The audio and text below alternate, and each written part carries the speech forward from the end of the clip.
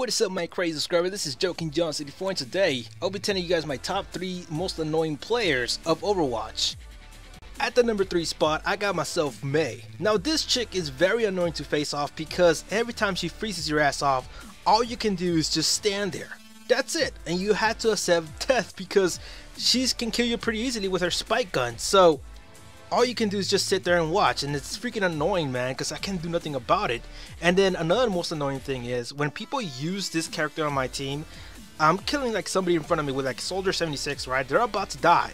And then all of a sudden my idiot teammates you know tend to like put a freaking blizzard wall in front of my face. I was like really dude? I was about to kill this one guy and you ruin it with a goddamn blizzard wall man. Fuck that's why I hate her. And uh, but I love to use her. She's really fun to use. You know, when, when I use her, it's pretty fun because you can annoy the shit out of the people. At the number two spot, I got myself Tracer. Now this chick, besides being the smallest target in the whole fucking game, they fucking gave her teleportation.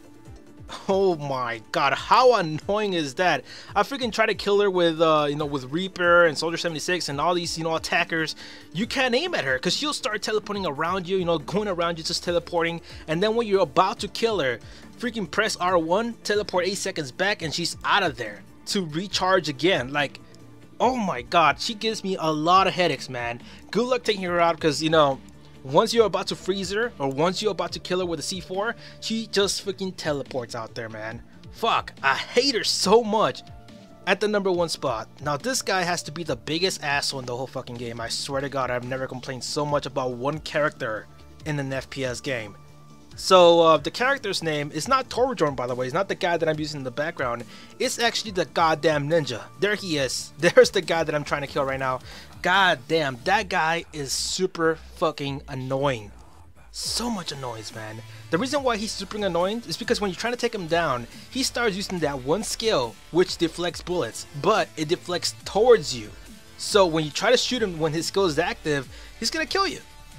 And it's annoying because, you know, you're trying to take him down, then you can't, and then you gotta wait till he stops doing that skill. But when he stops doing it, he all of a sudden uses the second skill, which is um, pretty much like a slash attack towards you. And when he gets near you and starts throwing ninja stars at you, you're dead. And by the way, the ninja stars, why do they kill me so easily? When I use that fucking character, it's a whole different story. I can't kill anybody. Like, what the fuck is going on here, man? I just, I don't know how to use Genji, man. Maybe it's that, or maybe it's just the game playing tricks with me. I don't know, man. I just can't use Genji. But yeah, my number one spot is fucking Genji. Huh, fuck you, Genji, swear to God. So I said, guys, that's my top three most annoying characters in the game. If you guys agree with me or disagree with me, leave in the comment section. What is your top three? Leave in the comment section I'll read it later. So I'll see you guys later and subscribe for more Overwatch.